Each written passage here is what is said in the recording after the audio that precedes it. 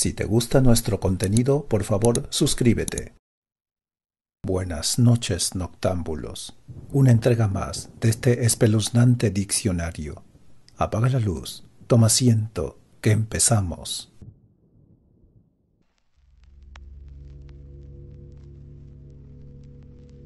Diccionario Infernal de Colin de Plancy. Akiba, rabino del primer siglo de nuestra era, que de simple pastor llegó a ser un sabio de mérito, llevado por la esperanza de poseer a una doncella de la cual estaba enamorado. Los judíos dicen que fue instruido por los espíritus elementales, a los que sabía conjurar, y que en sus bellos días tuvo hasta veinticuatro mil discípulos.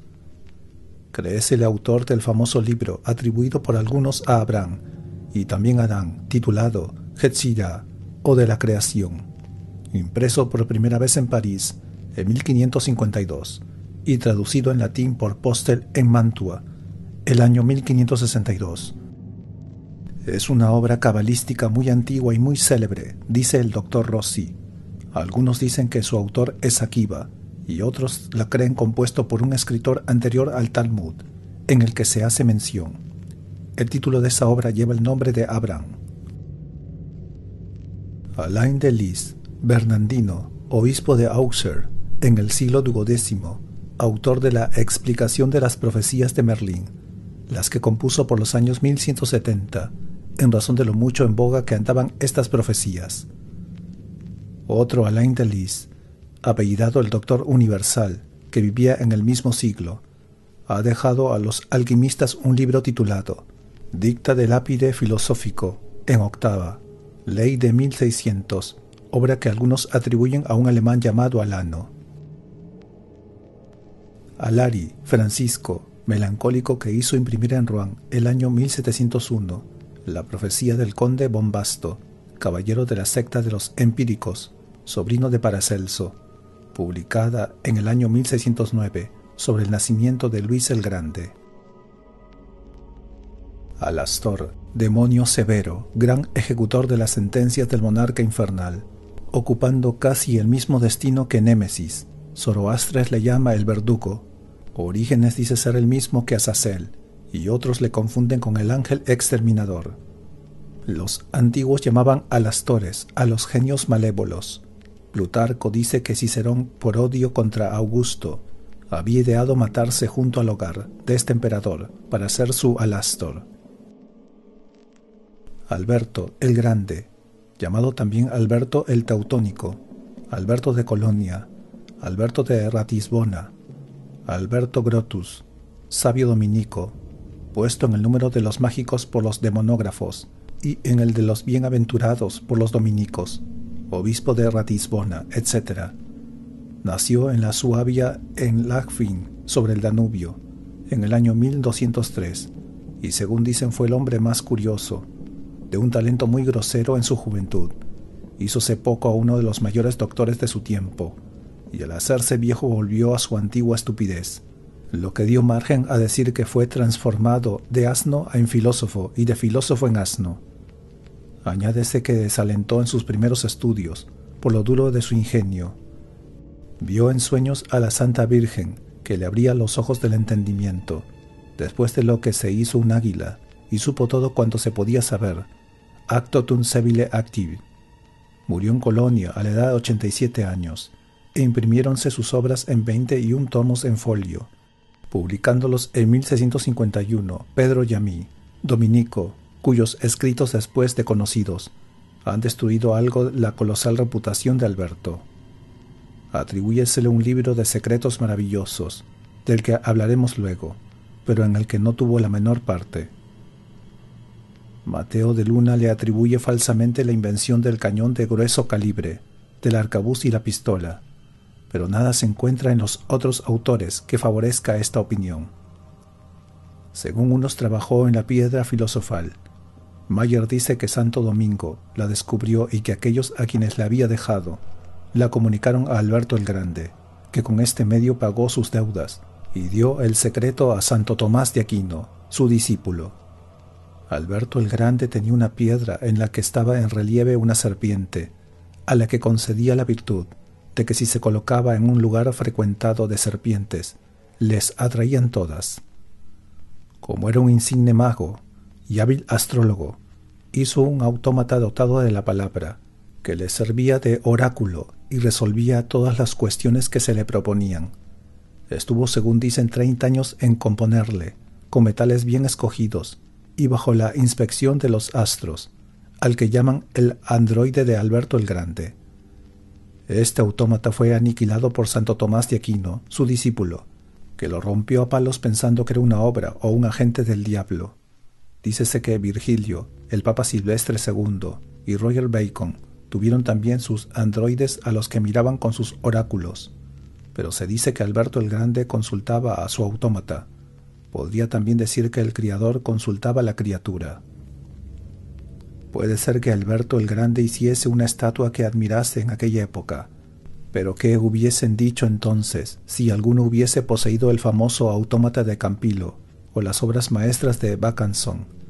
Este pastor que tocaba el camarillo con tanta limpieza y precisión, acompañándose del tamburino, y aquel pato que graznaba, volaba, se zambullía en el agua, bebía, tomaba los granos, los tragaba, los digería por disolución los despedía por las vías ordinarias y que imitaba finalmente todos los movimientos de un animal con vida. Cuéntese también como una de las brujerías de Alberto el Grande, que estando en Colonia, dio al rey de los romanos, Guillermo Conde de Holanda, un espléndido banquete en el jardín de su claustro, en donde en el rigor del invierno hizo aparecer todos los adornos de la primavera, que se desvanecieron terminado el banquete, estas maravillas es verdad que debían herir la imaginación del siglo de la ignorancia en que vivió Alberto, pero lo que él mismo llamaba sus operaciones mágicas eran únicamente de la magia blanca, y a este gran hombre no se le tendría en el día por brujo. Del modo como la Santa Virgen reanimó a Alberto el Grande, impidiéndole que se desesperase. Habiendo entrado Alberto en la Orden de Santo Domingo, y no encontrando en sí ninguna facilidad para aprender las ciencias, resolvió dejar la vida religiosa. Había ya colocado una escalera para saltar las paredes del convento y fugarse, cuando percibió cerca de él cuatro señoras de una fisonomía muy respetable. Dos de ellas le impidieron subir. La tercera le preguntó por qué se decidía a una retirada tan vergonzosa, y en contestación expuso su incapacidad y la señora le empeñó en implorar el socorro de la bienaventurada Virgen Reina de los cielos, que era la cuarta de las que estaba viendo, y le dijo, os ayudaremos a rogar. Accedió luego Alberto a este consejo, prosternándose ante María, y le manifestó su pesar. Preguntóle la Virgen qué ciencia quería poseer, y como a joven prefirió la filosofía, o ciencia natural, o la teología, o ciencia divina, concedióle María su demanda, pero le dijo ya que prefieres una ciencia profana, a la que te hubiera hecho conocer a mi hijo. Al fin de tus días perderás tus conocimientos y caerás de nuevo en la estupidez. Desapareció la visión y Alberto se vio otro hombre. Abrióse su concepto y ya nada le pareció difícil. Adquirió el sobrenombre de Grande y fue obispo de Ratisbona. Finalmente llegó el tiempo del castigo, tres años antes de su muerte, desvaneciéndose todo su saber y recayó en un estado peor que el de su infancia. Aceptó este castigo con resignación y pasó los tres últimos años de su vida en una gran sencillez de costumbres, sin omitir nada de las prácticas de la vida religiosa, después de lo cual se le canonizó, porque los dominicos le han colocado en su calendario. Los admirables secretos de Alberto el Grande conteniendo muchos tratados sobre la concepción de las mujeres, las virtudes de las hierbas, de las piedras preciosas y de los animales, aumentados con un compendio curioso de la fisonomía y un gran preservante contra la peste, las fiebres malignas, los venenos y las infecciones del aire, sacados y traducidos de los antiguos manuscritos del autor, que no habían aún aparecido. Este fárago no es de Alberto el Grande, sin nada de criterio, encuéntrase de todo hasta un tratado de estiércoles, que, aunque viles y despreciables, son sin embargo muy dignos de estimación, si se sirve de ellos como se prescribe. El autor empieza con una oración, después de la que se encuentra el pensamiento del príncipe de los filósofos, que opina que el hombre es lo mejor que se halla en la naturaleza. Atendido que existe en él una gran simpatía entre él y los signos celestes, que está fuera de nuestros alcances y que por consiguiente nos es superior. El libro primero trata de la generación del embrión, de la manera en que se forma el feto, la influencia de los planetas sobre el nacimiento de los niños, del maravilloso efecto del cabello de las mujeres, de los monstruos, del modo de conocer si una mujer está encinta de un niño o de una niña, de si una doncella ha perdido su virginidad, del veneno que las viejas tienen en los ojos y de los medios en que se han de emplear para tener un hijo varón o hembra. Todos estos absurdos son fastidiosos y asquerosos a lo sumo. Veas en el libro segundo de las virtudes de ciertas piedras, de ciertos animales, y las maravillas del mundo, de los planetas y de los astros. El libro tercero presenta al principio el hermoso tratado de los estiércoles, luego maravillosas ideas sobre la orina, la chinches, los zapatos viejos y la pobredumbre, secretos para ablandar el hierro, para manejar los metales, para dorar el estaño y para limpiar la batería de cocina. Finalmente el libro cuarto es un tratado de fisonomía, con sabias observaciones sobre los días dichosos y desgraciados, de los preservantes contra la fiebre, de los purgativos, de las recetas de cataplasmas y de otras cosas muy inocentes. En su lugar referimos cuánto tienen de curioso estas extravagancias, y sin duda que el lector encontrará como nosotros algo admirable que se vendan cada año, veinte mil ejemplares de los secretos de Alberto el Grande, a los pobres habitantes de los campos. El sólido tesoro del pequeño Alberto, o secretos maravillosos de la magia natural y cabalística, traducido exactamente del original latino, titulado Alberti Parvi Lucy Liber de Mirabilibus, Nature Arcanis, adornada con láminas misteriosas, pues son láminas de talismanes. Tampoco tiene parte alguna Alberto el Grande en esta otra colección de absurdos, mucho más peligrosa que la otra, aunque no se encuentra en ella, como lo creen los paisanos, el modo de evocar al diablo. Se prohibió alguna vez este libro, y entonces se ha vendido sumamente caro encuentres en él el modo de anudar y desatar la agujeta, la composición de diversos filtros para inspirar amor, el modo de saber por medio de un sueño con quién se casará, secretos para hacer bailar una doncella desnuda, para ganar en el juego, para restablecer el vino que se ha echado a perder, para hacer talismanes cabalísticos, descubrir tesoros, prevenir la infidelidad de las mujeres, servirse de la mano de gloria, componer el aguardiente y el fuego griego, la liga y el bastón del viajero, el anillo de invisibilidad, el polvo simpático, el oro artificial, y en fin remedios contra las enfermedades y modos de guardar el ganado. Alberto de San Jaime, monje del siglo XVII, que publicó un libro titulado Luz a los vivos por la experiencia de los muertos, o diversas apariciones de las almas del purgatorio de nuestro siglo, un tomo en octava, Lyon, año de 1675. Algunos de sus lances se explicarán en esta obra. Albigenses, especie de maniqueros cuya herejía fue muy esparcida por el Languedoc a fines del siglo XII. Santo Domingo, que estableció entonces la Inquisición, predicó contra ellos una cruzada cuyo héroe fue Simón de Montforte.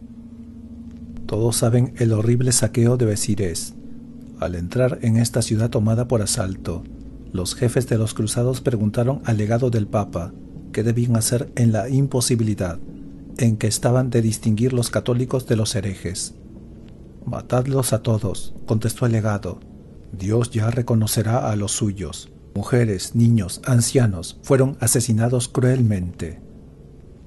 Suponían que Dios había producido a Lucifer con sus ángeles, que Lucifer, hijo de Dios, se había rebelado contra él, que había sido echado del cielo con todos los cómplices de su delito, y que en su destierro había creado este mundo que habitamos, y sobre el que reinaba. Añaden que Dios, para restablecer el orden, produjo un segundo hijo, que fue Jesucristo, a quien hacían principio del bien, mientras que miraban a Lucifer como principio del mal. Albinos, nombre que los portugueses han dado a unos hombres sumamente blancos, que por lo común son hijos de negros. Los negros los miran como monstruos, y los sabios no saben a qué atribuir esta blancura, si no es a la imaginación de las negras, que puede ser tan violentamente herida por la vista de un hombre blanco para producir este fenómeno. Los albinos son pálidos como espectros, y sus ojos débiles y lánguidos durante el día son brillantes a la luz de la luna. Los negros que atribuyen a los demonios de piel blanca miran a los albinos como fruto del comercio de sus mujeres con el diablo. Los negros les combaten fácilmente durante el día, pero llegada la noche, los albinos son los más fuertes y se vengan. En el reino de Loango se tiene a los albinos por demonios campesinos y son un tanto respetados. Además, los albinos no son todos hijos de África. Enseñábase en Lila a principios del año 1820 una joven albina inglesa que se puede mirar como un prodigio de hermosura y encantos. Veíase el retrato que hicieron de esta maravilla los que la admiraban. La joven albina tiene unos dieciocho años. Su aspecto ofrece algo de ideal y aéreo, y se le podría tomar por un ángel. Sus largos cabellos, cejas y párpados son de un blanco plateado y lustroso. El blanco de sus ojos se asemeja al alabastro. La niña mirada de cerca parece del más hermoso rojo de coral y de algo lejos de color de rosa. La belleza y finura de su piel puede compararse al transparente de la cera. Todos los rasgos de su fisonomía son perfectamente regulares, todas sus formas sumamente atractivas y sus movimientos llenos de gracia. Posee muchos talentos agradables, particularmente el de la música, que cultiva con éxito. Su voz es suave y melodiosa, y este hermoso prodigio parece solo nacido para cautivar a Europa. Ignoramos lo que se hizo esta joven. Bocio dice que hay en la Guinea poblaciones de albinos, pero ¿cómo existirían estas poblaciones si, según se dice, los albinos no se pueden reproducir? Parece además que los antiguos conocían ya este fenómeno. Aseguran, dice Plinio, en su historia natural, que existen en Albania algunos individuos que nacen con cabellos blancos, los ojos de perdiz, y que no ven claro sino durante la noche. Él no dice que esto sea una población, sino algunos sujetos que padecen esta enfermedad particular. Muchos animales tienen también sus albinos, añade M. Salgués, y los naturalistas han observado cuervos blancos, mirlos blancos, topos blancos, cuyos ojos son colorados, y pálida su piel y su organización más débil. Pueden unirse a los albinos los lamparones de Vales, los santurrones de los Pirineos, que son unas criaturas inferiores y desgraciadas, cuyo infeliz estado debe de servir para moderar nuestro orgullo. Alborac, burro de Mahoma, y uno de los diez animales que colocó en su paraíso, Cuenta este que al momento de partir para su viaje a los siete cielos, el ángel Gabriel le llevó al jumento Alborac, más blanco que la leche, que tenía la cara humana y la mandíbula de caballo, como todos saben. Sus ojos brillaban como estrellas, y los rayos que de ellos salían eran más cálidos y penetrantes que los del sol en su mayor fuerza. Extendió sus dos grandes alas de águila. Mahoma se le acercó, pero él se puso a tirar coces. Estate quieto, le dijo Gabriel y obedece a Mahoma, a lo que contestó el jumento. El profeta Mahoma no se montará hasta que hayas obtenido de él que me haga entrar en el paraíso el día de la resurrección. Díjele estuviese tranquilo, añade Mahoma en la narración que hace de su viaje, y le prometí conducirle al paraíso conmigo. Y al momento dejó de tirar coces. Colocóse el profeta sobre su espalda y al momento echó a volar con más ligereza que el rayo, encontrándose luego a las puertas del templo de Jerusalén. El Alcorán hace mención de esta maravillosa cabalgadura, la que era un poco mayor que un asno y más pequeña que un mulo. Los doctores musulmanes aseguran que a cada paso que daba, andaba tal el trecho que la mejor vista podía alcanzar. Albumázar, astrólogo del siglo IX nacido en el Corazán, conocido principalmente por su tratado astrológico titulado Millares de años, en el que afirma que el mundo no ha podido ser creado, sino cuando se hallaron en conjunción los siete planetas en el primer grado de Aries, y que terminará cuando estos siete planetas, que en el día lleguen a doce, se reunirán en el último grado de Pisces. Hágase preciso en Alemania que varios tratados de astrología de este escritor, pero solo citaremos aquí el Tractatus Florum Astrologia, en cuarta, impreso en Augsburgo, el año 1488. Albunea, Sibila décima, llamada también Tiburtina, porque se la honraba como a una divinidad en Tibur, hoy día Tiboli. Representásela con un libro en la mano, hizo versos contra el adulterio y la sodomía, predijo que Jesucristo sería rey del mundo y que nacería de una virgen en Belén. Al menos si se le atribuyen malos versos, encuéntrase también en ella esta profecía, hecha en los primeros signos de nuestra era. Alción. Opinión extendida es que el alción o martín pescador es una veleta natural que colgaba por el pico señalaba el viento dirigiendo su pecho hacia aquella parte del horizonte. Pero la razón y la experiencia han probado la nulidad de esta virtud magnética. Lo que le habrá dado este crédito sería verosímilmente la observación que se hace de que el alción parece estudiar los vientos y adivinarlos principalmente cuando hace su nido. Repárase que entonces, esto es en el solsticio de invierno, el mar está en calma y los vientos tranquilos, hasta que los pequeños alciones tienen su pluma y abandonan los nidos flotantes sobre las ondas sin ser sumergidos. Pero en esto no tenemos regla alguna segura para guiarnos. ¿Sería acaso una providencia particular el alción o bien un arreglo de la naturaleza que vela por la conservación de cada especie? ¿Quién se atreverá a decidirlo? Es muy cierto, dice Brown, que muchas cosas acontecen, porque el primer motor así lo ha determinado, y la naturaleza las ejecuta por caminos que no son desconocidos. Es también una antigua costumbre el encerrar a los alciones en cofres, con la idea de que preservan de los gusanos las ropas de lana, y quizá también al colgarlas por los aposentos, no se lleva a otro objeto. Creo, añade el doctor Brown, que colgándolos por el pico no se ha seguido el método de los antiguos, quienes sin duda las colgaban por la espalda, porque el pico señalaba los vientos y porque así es como Kirker ha descrito las colondrinas de mar.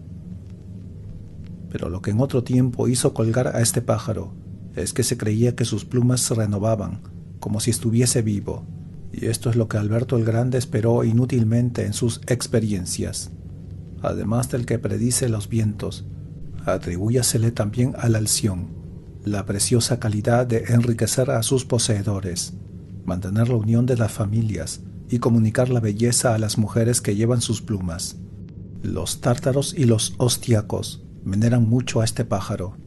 Buscan sus plumas con ahínco, las echan en un gran vaso de agua y conservan las que sobrenadan persuadidos de que basta tocar con estas plumas a una mujer para hacerse amar de ella. Cuando un hostiaco es harto feliz para poseer un alción, conserva su pico, sus patas y su piel, los mete en una bolsa, y mientras lleve consigo este tesoro, se cree al abrigo de toda desgracia, siendo para él un maravilloso talismán. Al-Corán. Esta palabra en árabe significa el libro. Los musulmanes creen como un artículo de fe que el ángel Gabriel relató a su profeta por el espacio de 23 años todo lo que contiene el Alcorán, versículo en versículo, escrito sobre un pergamino hecho de la piel del cordero que Abraham inmoló en vez de su hijo Isaac. Los turcos dicen que el Alcorán, cuya composición miran como la obra de la eternidad, ha sido escrito por mano de Dios, y los persas dicen haberlo sido por mano de ángeles. Todo el Alcorán debe estar escrito en el lienzo del gran visir, así como todos los muebles del canciller de Francia, deben estar cargados de flores de lis. Es un error menos esparcido en el día la opinión de que se atribuye a Mahoma de poco miramiento para con las mujeres. No es verdad que las excluya de su paraíso, ni que las haga esclavas en este suelo. Léese esto en el Alcorán. Las mujeres se comportan con sus maridos del mismo modo que los maridos se comportan con sus mujeres. Además, Voltaire dice que hay una gran cuestión en si el Alcorán es eterno o si ha sido creado. Los musulmanes rígidos le creen eterno. Mahoma compuso esta obra con el auxilio de Batidas, el jacobita, de Sergio Monge, nestoriano, y de algunos judíos. Está dividido en cuatro partes, en muchos capítulos, que se distinguen con títulos tales como el de la mosca, la araña, la vaca, etc. La mayor parte de estos principios son los de Arrio, Nestorio, Sabelo y otros heresiarcas. La Sagrada Escritura se emplea algunas veces en él, pero con una enorme mezcla de fábulas, principalmente sobre los patriarcas, sobre Jesucristo y sobre San Juan Bautista. El Alcorán es tan respetado de los maometanos que un judío o un cristiano que levantase la mano contra él no podría evitar la muerte sin abrazar su creencia y que aunque fuese un musulmán, se le trataría con sumo rigor si lo tocase siquiera, sin haberse lavado las manos. Poco después de la muerte de Mahoma, publicáronse más de 200 comentarios sobre este libro, Monavia, califa de Babilonia, reunió una asamblea en Damasco para conciliar tan diferentes opiniones, pero no pudieron lograrlo. Escogió a seis de los más hábiles doctores, con encargo de que escribiesen lo que les pareciese más puesto en razón. Sus seis obras fueron compiladas con esmero y habiendo sido destruidas todas las otras con agua y fuego, prohibióse bajo rigurosa pena el escribir contra la autoridad de esta reunión lo que no impidió que naciese una multitud de sectas, como entre nosotros. Aldón, dos señores lombardos llamados Aldón y Granson, cayeron en desgracia de Guneberto, rey de Lombardía, cuyo príncipe resolvió su muerte. Estaba un día tratando de este magnánimo proyecto con su favorito, cuando una gruesa mosca vino a colocarse en su frente, dándole una fuerte picada. Guneberto ahuyentó a aquel insecto, que volvió inmediatamente a la carga, importunándole hasta que le encendió en una cólera violenta. El favorito, viendo a su dueño irritado, cerró la ventana para impedir la salida del enemigo y se puso en persecución de la mosca, mientras que el rey sacaba su daga para matarla. Y después de haber sudado mucho, Guneberto atrapó al fugitivo insecto, le hirió, pero no le cortó sino una pata, y la mosca desapareció. En aquel mismo instante, Aldón y Granson, que estaban juntos, vieron aparecérsele una especie de hombre que parecía rendido de cansancio y que traía una pierna de palo, quien les avisó del proyecto del rey Guneberto, aconsejándoles la fuga y desapareció al instante. Los dos señores dieron gracias al espíritu de lo que hacía por ellos, después de lo cual se alejaron como lo requería la circunstancia. Alectriomancia adivinación por medio del gallo, sin detenernos en las calidades del referido animal, que para nosotros es un reloj vivo. Advertiremos que sin duda a causa de su mérito, se han servido de él como de un ser privilegiado para decir la buena ventura.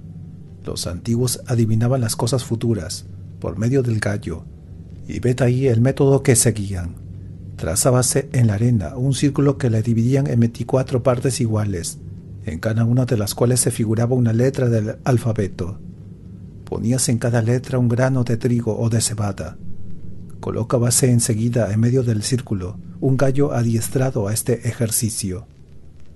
Observábase con cuidado de qué letras se comía los granos, y de estas letras reunidas formaban una palabra que servía de contestación a lo que se pretendía saber.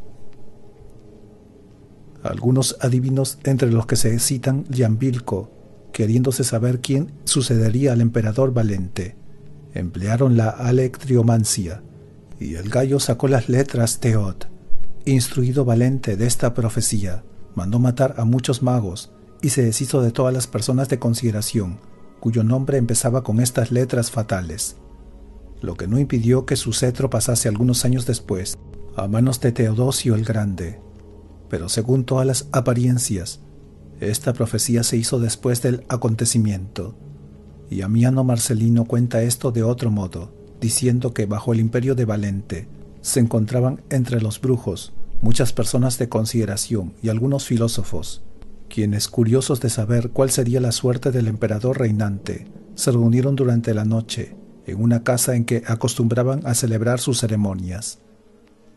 Empezaron por levantar un trípode de raíces y ramas de laurel, que consagraron con horribles imprecaciones. Sobre este trípode colocaron un vaso formado de diferentes metales, y colocaron en derredor, en distancias iguales, las letras del alfabeto. Entonces el brujo más sabio de la compañía se adelantó envuelto en un largo velo, llevando en las manos hojas de verbena y haciendo a gritos horribles invocaciones que acompañaba con asquerosas convulsiones. Luego deteniéndose repentinamente delante del vaso mágico, permaneció inmóvil teniendo un anillo colgado de un hilo, y apenas acababa de pronunciar las palabras del sortilegio, que se vio como ver el trípode, menearse el anillo y dar ya a una letra y a otra, y al momento que había sido tocadas estas letras, se iban a alinear por sí mismas una al lado de otra, sobre una mesa en que compusieron hermosos versos heroicos, que admiró toda la reunión. Valente que tuvo cuidado de informarse de esta operación, y que no le acomodaba se consultase al infierno sobre su destino, castigó severamente a los grandes y los filósofos que habían asistido a este acto de brujería, y aún extendió bárbaramente un decreto de proscripción contra todos los filósofos y brujos de Roma.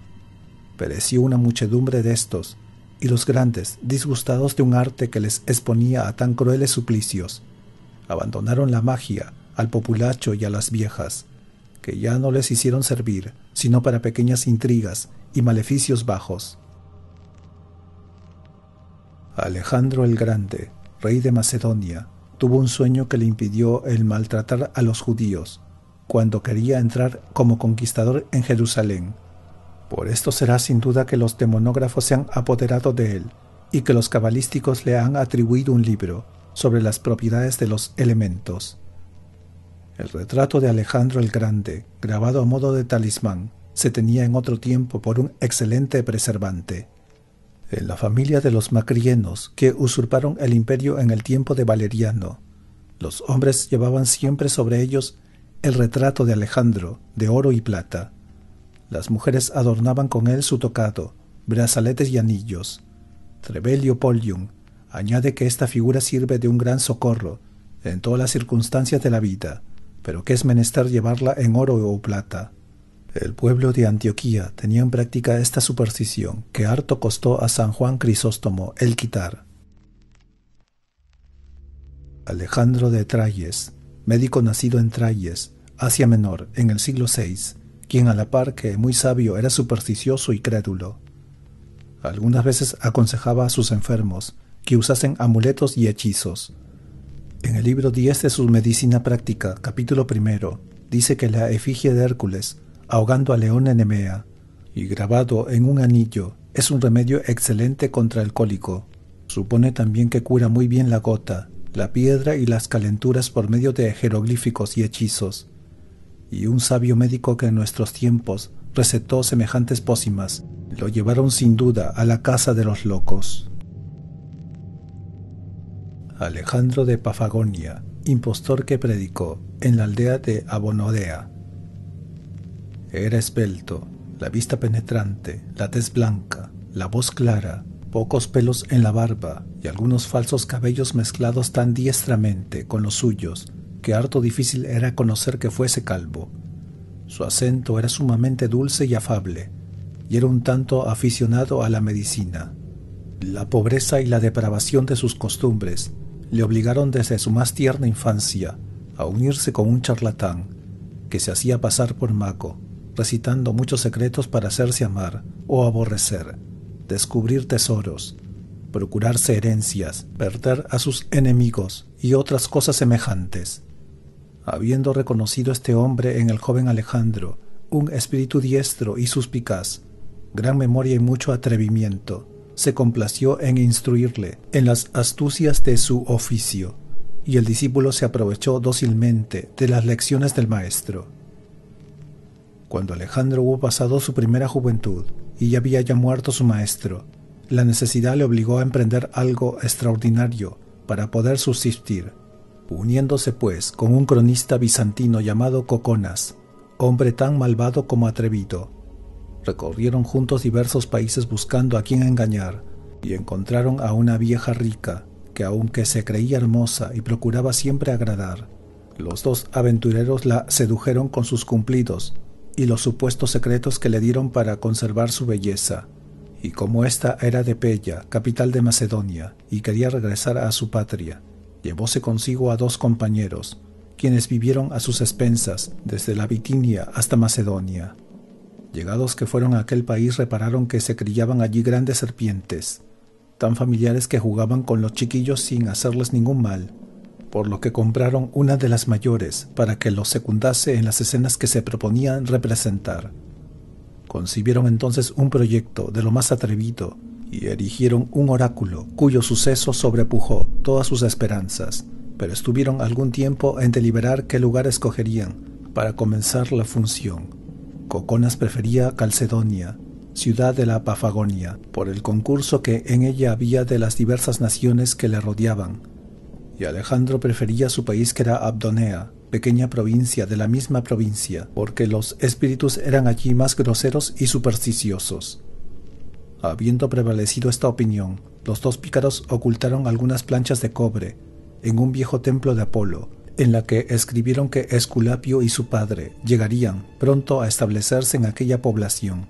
Así que fueron encontradas estas planchas, esparcióse pronto la voz en las diferentes provincias, y particularmente en el lugar designado, cuyos habitantes se apresuraron en erigir un templo a estos dioses, cuyos cimientos edificaron.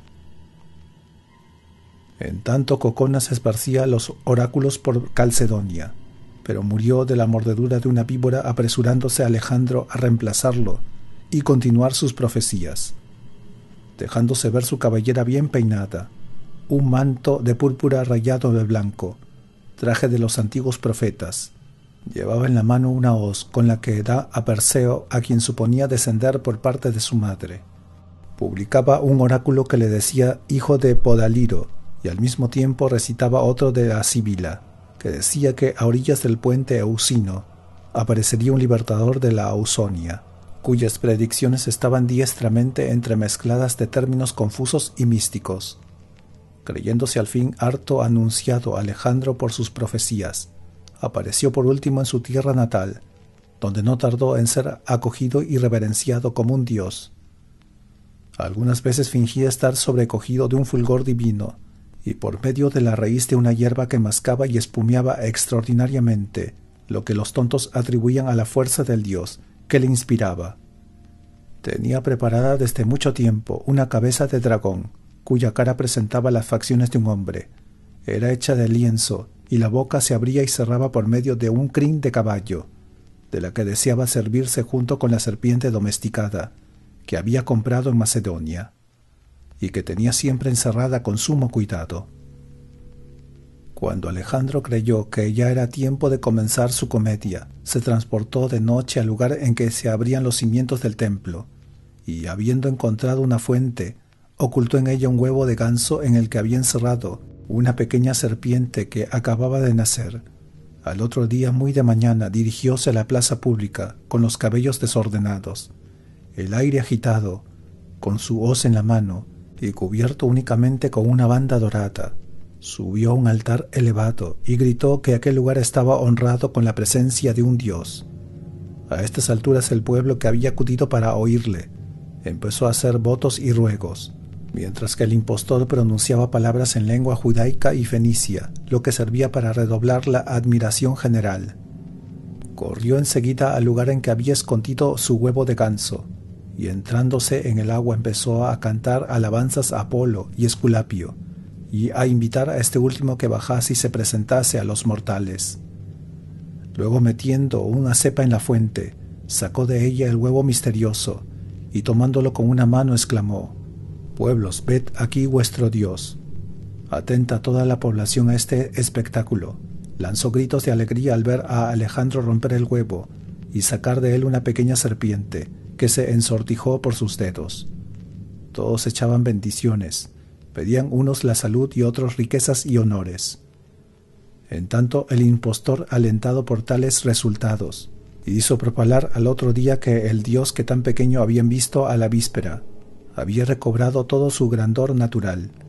La población estaba llena de extranjeros que habían venido para ser testigos de tales milagros y su casa estaba sitiada de una multitud inmensa. Colocóse sobre un lecho después de haberse revestido de su traje de profeta, y teniendo en su mano la serpiente que trajo de Macedonia, dejándola ver enroscada por su cuello y arrastrando una larga cola, pero ocultaba bajo el sobaco la cabeza, dejando ver solo la fingida que había preparado. El lugar de la escena estaba débilmente iluminado, se entraba en una puerta y salía por la otra, sin que fuese posible detenerse por mucho tiempo. Este espectáculo duró algunos días y se renovaba siempre que llegaban algunos pasajeros. Sacáronse retratos del dios y se hicieron efigies suyas en bronce o en plata. Al ver el profeta todos los ánimos dispuestos, anunció que el dios daría sus oráculos a un cierto tiempo y que se le debían enviar las preguntas por escrito y selladas. Y entonces, encerrándose en el templo que le acababan de construir, hacía llamar a todos los que habían enviado billetes y se los devolvía sin que pareciese haber sido abiertos, con la respuesta del Dios. Estos billetes habían sido abiertos con destreza tal que eran imposibles conocer que se hubiese roto la yema. Algunos espías y emisarios, esparcidos por las más lejanas provincias, informaban al profeta de todo cuanto llegaba a saber y le ayudaban a dar sus oráculos que por otra parte eran siempre oscuros o ambiguos, según la prudente costumbre de los oráculos. Llevaban con ahínco víctimas para el dios y regalos para el profeta, porque el dios había mandado con el oráculo que se hiciese bien a su ministro, porque para él no lo necesitaba. Finalmente el impostor, queriendo completar la admiración por medio de una nueva superchería, anunció un día que Esculapio respondería en persona a las preguntas que se le hicieran lo que se llamaba respuesta de la misma boca del dios. Hacías este engaño por medio de algunas arterias de grullas que remataban por una parte de la cabeza postiza de la serpiente y por el otro en la boca de un hombre escondido en un aposento vecino. Pero el dios no se dignaba responder por sí mismo todos los días. Pagábanse por cada oráculo cerca de diez sueldos de nuestra moneda, lo que ascendía a una suma considerable porque el profeta percibía sesenta u ochenta mil al año, y no se permitía hacer dos preguntas en el mismo billete. Las contestaciones se daban ya en prosa, ya en verso, pero siempre de un modo oscuro, por el que se encuentra casi siempre en medio de vaticinar feliz o mal resultado en algún negocio. Ved ahí un ejemplo. Alejandro envió su oráculo al emperador Marco Aurelio, que tenía entonces guerra con las naciones vecinas y que le mandó ir a Roma en el 171 como el dispensador de la inmortalidad. Este oráculo decía que debía echar en el Danubio dos leones vivos, después de muchas extraordinarias ceremonias, y que de esta suerte le aseguraban una pronta paz, precedida de una brillante victoria. Estas órdenes fueron ejecutadas puntualmente, pero los dos leones traspasaron el río nado y los enemigos los mataron. Dio el emperador la batalla, fue derrotado su ejército, dejando en el campo más de veinte mil hombres. El profeta probó la verdad de su predicción, diciendo que le había anunciado una victoria, sin nombrar al vencedor. Algunas veces el profeta descuidaba abrir los billetes, cuando creía haber adivinado la demanda según los mensajeros. Así es que un día dio un remedio para el mal de costado, cuando se le preguntaba cuál era la patria de Homero. Muchos filósofos pretendieron quitar la máscara a este impostor, pero sus sectarios que no razonaban imponían silencio con sus clamores a los que pretendían desengañar al pueblo. Las imaginaciones estaban acaloradas y los ojos fascinados hacían realidades todas las fantasías. La acogida que Marco Aurelio hizo al impostor le adquirió el respeto de los cortesanos y la veneración del pueblo. Y en fin, después de haber predicho que moriría de un rayo como Esculapio a los 150 años, pereció miserablemente de una úlcera en la pierna a los 70 años. Sin embargo, después de su muerte, se le erigieron estatuas y ofrecieron sacrificios como a un semidios. Alejandro III, rey de Escocia en 1258, casóse en el año 1286 en terceras nupcias con una francesa llamada Julieta, hija del conde de Dreux. En la noche de la solemnidad de la boda, vióse entrar al fin del baile en el salón en el que estaba reunida la corte, un espectro descarnado que se puso a bailar de una manera horrible. Las horrorosas pernadas de este fantasma turbaron de tal suerte a los concurrentes que todas las fiestas se suspendieron y algunos expertos anunciaron que esta aparición anunciaba la cercana muerte del rey. En efecto, el mismo año, en una cacería, montando Alejandro un caballo mal ensillado, fue arrojado de la silla y murió de la caída. Es como ya se sabe una creencia antiguamente muy vulgar, la de la mujer blanca o del espectro de la víspera, que venía a anunciar la muerte. Alejandro VI, elegido papa en 1492, no por los delitos que se le achacan le citamos aquí, sino únicamente porque algunos escritores afirman que tenía a sus órdenes un demonio familiar que pasó enseguida al servicio de César Borgia, su hijo. Aleluya, palabra hebrea que significa alabanza a Dios. Las gentes sencillas creen aún en muchos parajes que se hace llorar a la Virgen cantando aleluya durante la cuaresma. En Chartres se representaba la aleluya con un trompo que un monaguillo hacía correr a latigazos por la iglesia. En la época en que no es dado rezarla, a la que se llamaba la aleluya azotada. Los canchadales tienen su grito de alegría, alcalai, que corresponde al nuestro de aleluya, y la repiten tres veces en la fiesta de las escobas, que consiste en barrer con abedul el hogar de sus cabañas. Creen que al repetir tres veces este grito sagrado, complacen sobremanera a los tres dioses del universo, Filat, Chou, Chi, el padre Fouila, su hijo eternal, y Goch, su nieto.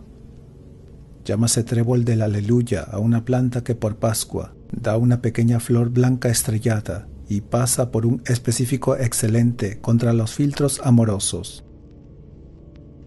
Alex Alejandro, amigo de Melanctón y hereje como él, nacido en Edimburgo el año 1500, cuenta que habiéndose subido a una montaña muy alta, cuando joven dio un paso en falso y cayó en un precipicio, y viéndose próximo a sumergirse en él, se sintió transportado a otro lugar, sin saber por quién ni cómo, y se encontró sano y salvo, sin contusiones ni heridas. Algunos atribuyeron este milagro a los amuletos que llevaba al cuello, según costumbre de los niños de aquella época, pero él lo atribuyó a la fe y oraciones de sus padres. Alessandro Alessandri, juriconsulto napolitano, muerto en 1523, publicó una colección muy rara de disertaciones sobre las cosas maravillosas. Ha hablado de prodigios sucedidos recientemente en Italia, de sueños verificados, de apariciones y fantasmas que dijo haber él mismo visto. Puso estas disertaciones en su obra Generalium Diarium, en la que cuenta con admirable credulidad toda especie de hechos prodigiosos, y solo citaremos aquí un ejemplo, porque le es personal. Los otros hechos curiosos están en otras partes. Dice que una noche fue con otros amigos a dormir en una casa de Roma, que desde mucho tiempo visitaban espectros y demonios. A medianoche, estando todos reunidos en un mismo aposento y con muchas luces, vieron aparecer un gran espectro que les atemorizó con su voz terrible y con el ruido que hacía saltando por encima de los muebles y rompiendo los servicios. Uno de los más intrépidos de la compañía se avanzó muchas veces con luz al encuentro del espectro, pero a medida que él se acercaba, se alejaba el espectro y desapareció enteramente, después de haberlo trastornado todo en la casa.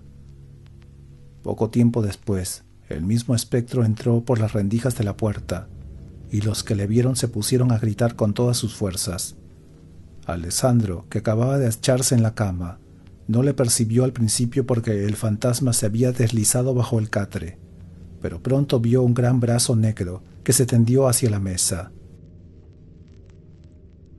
Apagó las luces y derribó los libros con cuanto había encima. La oscuridad aumentó aún más el miedo. Los amigos de Alessandro gritaron y mientras que llevaban luces, repararon que el espectro abrió la puerta, pasó sin ser visto por entre los criados y se escapó por los aires, sin haber hecho ningún mal a nadie. Todas las poblaciones tenían antiguamente sus casas que se decían infestadas por los espíritus, Pero que un sabio de talento se haya engañado con tales farsas es inconcebible. Aleuromancia, adivinación que se practicaba por medio de la harina. Metíase cedulillas arrolladas en un montón de harina, mediándose por nueve veces de una parte a otra. Repartíase enseguida aquella masa a los diferentes curiosos, y cada uno razonaba o soñaba según la cedulilla que le había caído en suerte. Apolo, que presidía a esta adivinación, era llamado por esta Aleuromantis, y aún han quedado algunos restos de esta costumbre en los campos. Alfader, el mayor de los dioses en la Teonia escandinava, antes de crear el cielo y la tierra, era como Heimi, Hunum, príncipe de los gigantes. Las almas de los buenos debían vivir con él, en el lugar llamado Simi o Wingol pero los malos pasaban a Helan, de allí a Niflin, región de las nubes inferiores en el mundo noveno.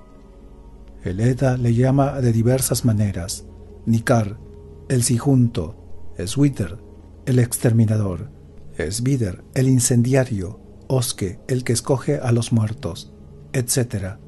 El nombre de Alfader se ha dado también a Odín. Alfaresios, genios escandinavos, los buenos se llaman líos o luminosos y los malos toc o negros. Alfitomancia, adivinación por medio del pan de cebada, la que se conoce desde los más antiguos tiempos. Nuestros padres, cuando entre muchos acusados querían conocer al culpable y obtener de él la confesión de su delito, hacían comer a aquellos de quienes sospechaban un pedazo de pan de cebada el que lo tragaba sin estorbo se le reconocía por inocente, mientras que al que era criminal se le indigestaba. De esta costumbre que era también recibida en las leyes canónicas y empleada en las pruebas del juicio de Dios, ha procedido esta maldición popular, cimiento que este pedazo de pan me ahogue.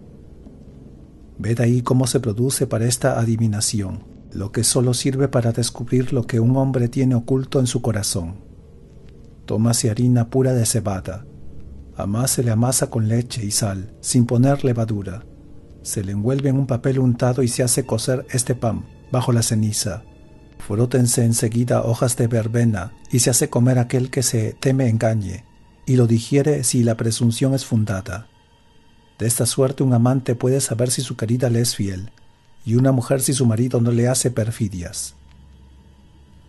Había cerca de Lavinio un bosque sagrado donde se practicaba la alfitomancia. Unos sacerdotes alimentaban en una caverna una serpiente, según unos y según otros un dragón, al que en ciertos días del año tenían que llevar de comer las doncellas que con los ojos vendados debían dirigirse a la gruta llevando en la mano una torta hecha por sus propias manos, con miel y harina de cebada. El diablo las guiaba, dice el elancre, y aquella a quien la serpiente se negaba a comer la torta se tenía por no doncella. Alfonso, rey de Castilla y de León, llamado el astrónomo y el filósofo, muerto en 1284. Deben las tablas alfonsinas, y decía alguna vez que si Dios le hubiese pedido consejo al momento de la creación, tal vez se le hubiera dado bueno. Este sabio príncipe, según se dice, creía en la astrología, y habiendo hecho sacar el horóscopo de sus hijos, supo que el menor debía ser más dichoso que el mayor, por lo que le nombró su sucesor en el trono. Pero a pesar de las decisiones de los astrólogos, el mayor mató a su hermano menor, encerró a su padre en una estrecha cárcel y se apoderó de la corona. Alfridaria, especie de ciencia que pertenecía a la astrología, por la que se le atribuyó sucesivamente alguna influencia sobre la vida a todos los planetas, gobernando cada uno a su vez cierto número de años. Algol es el nombre que los astrólogos árabes han dado al diablo. Aliento, un aliento muy violento, es señal de un gran talento, y al contrario un aliento débil lo es de un temple gastado y de un flaco discurso. Gracias a nuestros suscriptores y a nuestros Patreons que hacen posible que el canal siga creciendo. Muchas gracias. Si el video te gustó, por favor dale me gusta y suscríbete. Eso me ayudaría muchísimo. Muchas gracias.